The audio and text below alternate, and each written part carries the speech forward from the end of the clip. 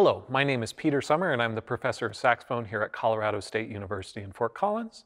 And I hope to give you some tips to help you prepare for your Colorado All-State Band auditions. In this video, we're going to be covering the D major etude on page 19 of the Voxman Selected Studies. Because this etude is slightly slower, it's marked andante con gusto, I think it's really important that we employ some vibrato on the held notes so that they don't feel dead and lifeless.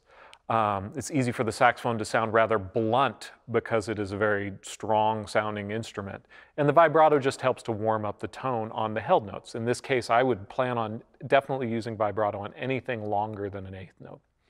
Employ the vibrato by starting in tune and then gently loosening the embouchure through motion at the jaw to create a nice round shape to the vibrato. If you bite up into the reed, you're going to get a more jagged sound, which will tend to sound sharp.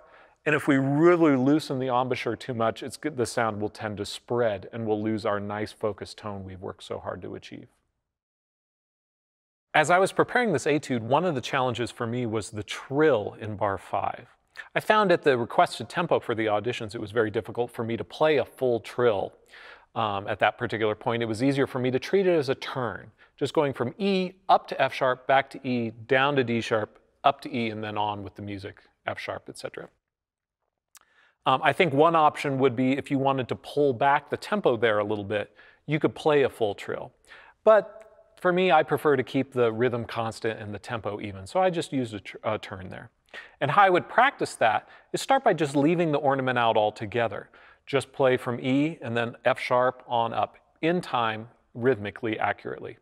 And then go ahead and add the D sharp and E back in as closing notes. Once that's comfortable, go ahead and add the whole turn E, F sharp, E, D sharp, E, up to F sharp, adding the whole thing back in while maintaining time with the metronome.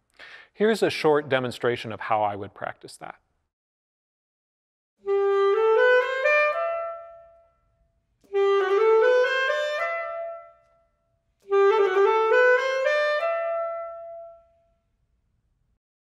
There's a lot of room for expression in this etude, and a lot of great information on the page in terms of dynamics, crescendos, and diminuendos. And while you should follow those instructions carefully, I would also encourage you to learn as much as you can about expression through recordings of great performances. Find recordings of great saxophone performances, and then other instruments that share a similar means of expression as a saxophone, like violin, cello, the human voice. You can learn a lot about the ingredients that go into making a successful and expressive performance by following a lot of, um, of the expression of these great players. Thank you so much for watching today. Uh, if I can be of any help, if there's any reason you need to contact me, you can find my contact information at the CSU Music website, which is music.colostate.edu, or my own personal website, which is www.petersommerjazz.com. Thanks so much and have a great day.